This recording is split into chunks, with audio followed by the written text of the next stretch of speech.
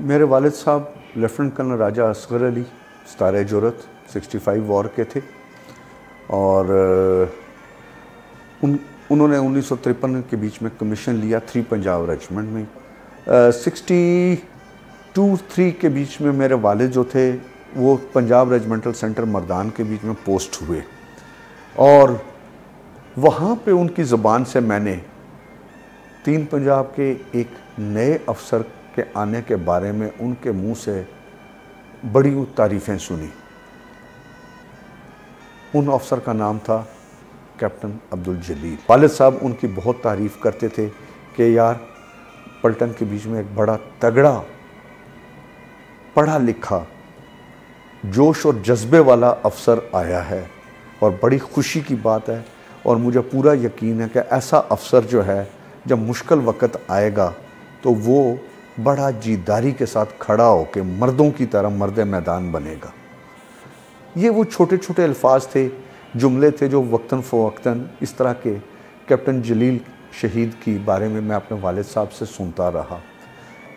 और वालिद साहब ने आके कहा कि यार, कभी बात होती, यार वो जलील ये काम वहाँ पे पलटन में हमारे करके गया, बड़ा अच्छा करके गया है। लोगों के साथ वो बहुत अच्छा था।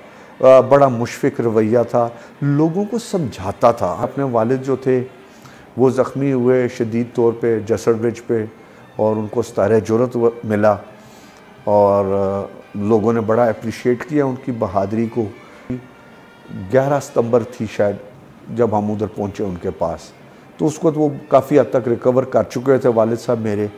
मगर उस वक्त तक उनको वो इतला आ चुकी हुई थी कि कैप्टन अब्दुल जलील भी शहीद हो चुके हुए हैं। तो कैप्टन जलील का जब नाम आता था तो एक तो उनकी आँखें नम हो जाती थी कि इतना हीदा आदमी भी कुर्बानी दे के चला गया। मगर साथ कहते थे कि वो जिस तरीके का आदमी था, उसने यही कुछ करना था। इससे बैद यही कुछ था।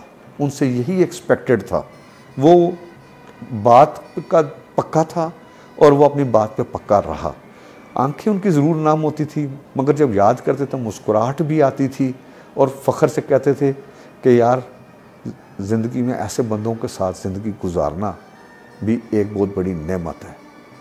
कैप्टन जलील उनके दिल में मेरे ख्याल मरते दम तक ज़िंदा रहे और उनकी बातें सुन सुन के जब तक मैं ज़िंदा हूँ, कैप्टन जलील मेरी ज़िंदगी में भी ज़िंदा रहेंगे। थैंक यू हमारी मुश्किल मुल्क और कौम की आसान हो जाए। नहीं तो उन बेचारों की कुर्बानियाँ जो हैं, ज़ाया रायगान आ जाएँ। मुझे ये बहुत होता है ख़ास कर ईस्ट पाकिस्तान के, जिन बेचारों की बॉडीज़ तक वापस नहीं है।